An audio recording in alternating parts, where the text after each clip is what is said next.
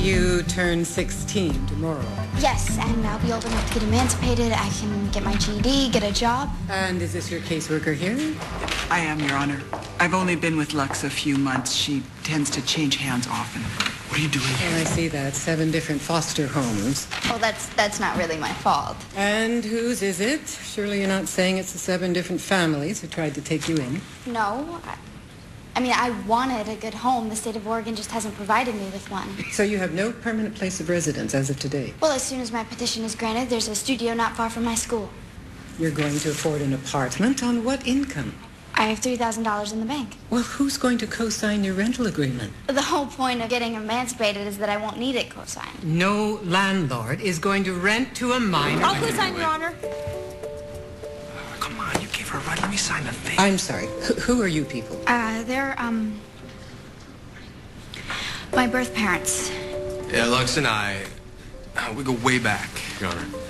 To when? Yesterday? And we bonded. Oh. Let me see that file, please. Over what? A panda sneezing? You want a bond? Try being attached by an umbilical cord. You know what? That she remembers any of that.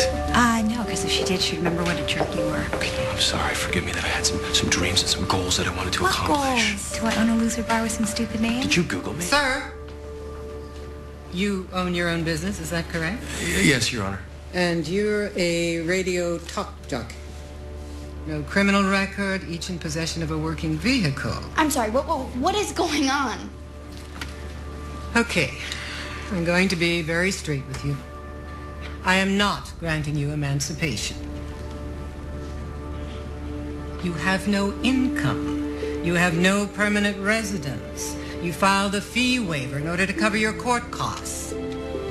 Now, Catherine Cassidy and Nathaniel Bazile are still legally your parents. Uh, actually, they're not. I, I had that paper signed. Those signatures were neither witnessed nor notarized. So, unless anyone here has an objection, I'm releasing you back into their temporary joint custody.